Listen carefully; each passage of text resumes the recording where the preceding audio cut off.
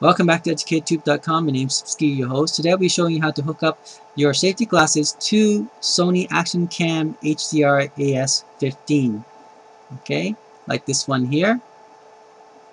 It weighs less than uh, 88 grams. Uh, when I measure it, it's only uh, 86 grams.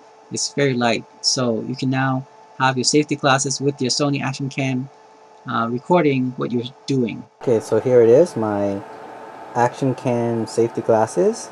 This is Sony Action Cam as you can see.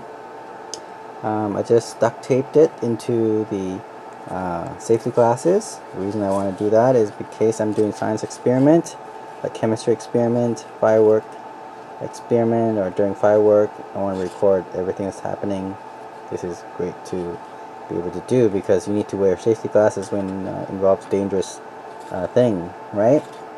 So yeah, you can build one. It's quite easy. Just uh, duct tape the Sony uh, Action Cam. Now the reason you want to use Sony Cam versus say uh, Hero Pro is because Hero Pro is a, you know, it's the way it's designed is totally different than Sony Action Cam.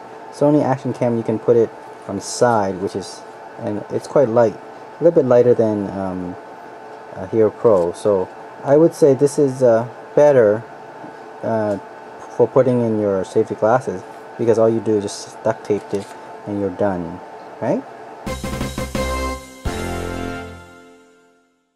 What's that? there we go Safety goggles. okay you ready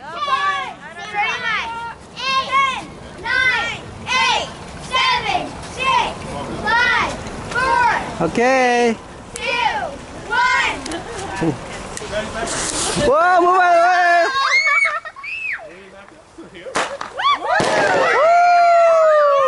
Okay. Okay, you guys ready for this last one? Okay. Here we go. Be, be my shield.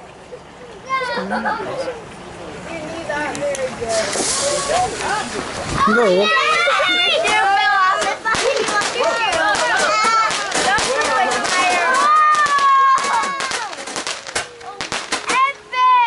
Epic! Woo! That's it! Next week I'll show you how to build a firework phaser. It's a pretty cool device that I made. Uh, it's great with firework. It feels you're empowered. Thanks for watching. EducateTube.com